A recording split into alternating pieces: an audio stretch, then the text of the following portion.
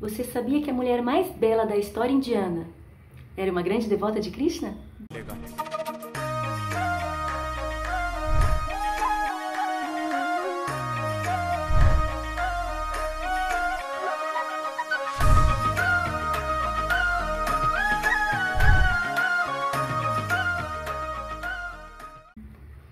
Krishna, hoje nós vamos falar sobre Draupadi, a filha do fogo sagrado.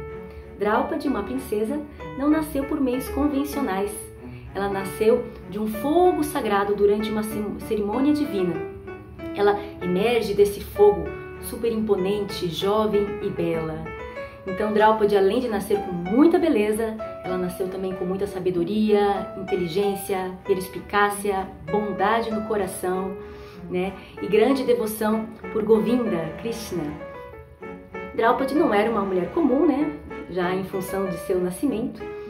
E ela não era uma beleza clara e branca como as pessoas costumam retratar nos filmes e seriados lá na Índia. Não, Draupadi tinha pele negra. Né? Afinal, estamos falando da Índia de um pouco mais de 5 mil anos atrás. E quando Draupadi é, estava na idade já de se casar, lá na Índia era, era feita uma cerimônia chamada de Swayamvara. Essa cerimônia era, na verdade, um evento, né? Que era um evento muito grande, onde muitas pessoas participavam, e daí os príncipes que eram pretendentes da princesa se encontravam lá né, no, num local específico, e daí era feito um torneio, e o vencedor do torneio ficava com a princesa, né? E depois, posteriormente, ambos se tornavam rei e rainha. E esse torneio, uma competição, poderia ser de qualquer coisa, de repente recitar algum poema ou fazer algum feito hercúleo, né? No Soyamvara de Draupadi, a competição era a seguinte: é, os pretendentes dela, eles teriam que acertar o olho de um peixe que estava muito, mas muito distante. E na verdade não era um peixe vivo, tá, gente? Era um peixe de mentira, um peixe mecânico.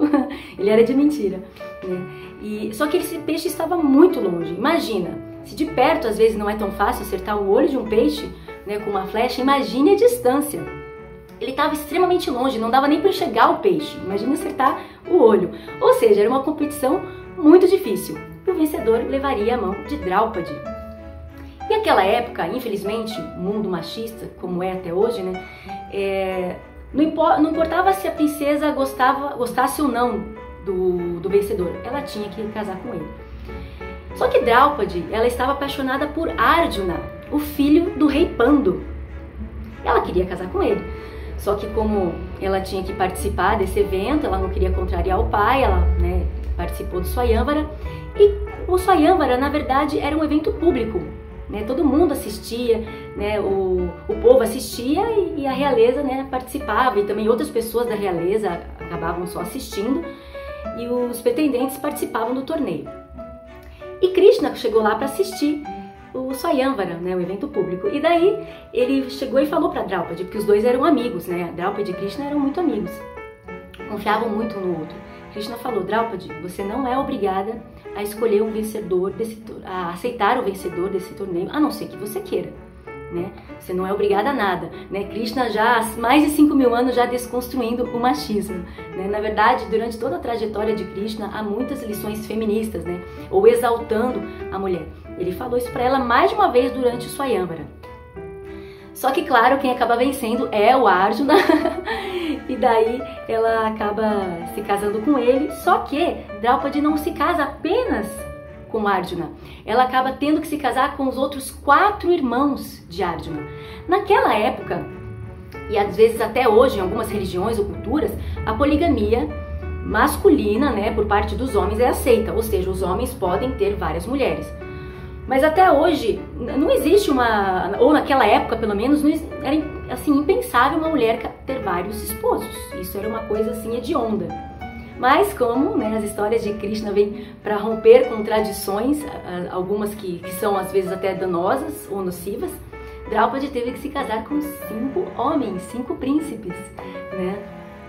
Por causa de uma situação que aconteceu, é, a, a mãe do, dos cinco é, pretendentes, os cinco maridos de, de Draupadi, no caso a sogra de Draupadi, ela era uma mulher também muito, como é que eu posso dizer, ela era muito sábia, né? muito sábia, muito devota e, e quando o Arjuna conseguiu a mão de Draupadi lá no Swayamvara, ele foi levar pra, ela para a mãe, para mostrar, olha mãe que eu consegui aqui no Swayamvara, não sei o que, não sei o que.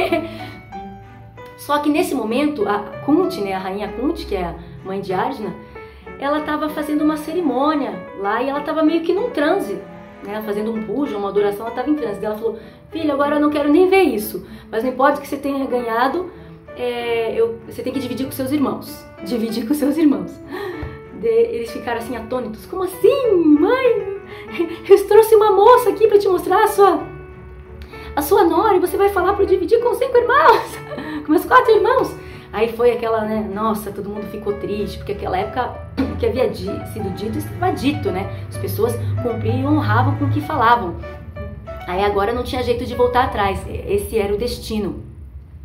E daí é, eles ficaram atados por, por causa disso que a rainha Kunti falou, e a Draupadi teve que se casar com os cinco Pandavas, os cinco filhos do rei Panda, que na verdade é, isso foi é, diferente para a época e também para dar um tipo de lição, porque se os homens podem ter várias esposas, por que, que as mulheres não podem também, né?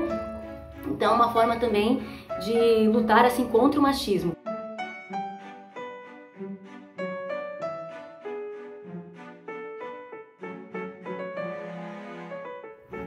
Draupadi pode ser considerada a primeira feminista da história indiana haja vista nessas duas situações que eu narrei para vocês e, claro, muitas outras, tá bom? Muito obrigada, Hare Krishna!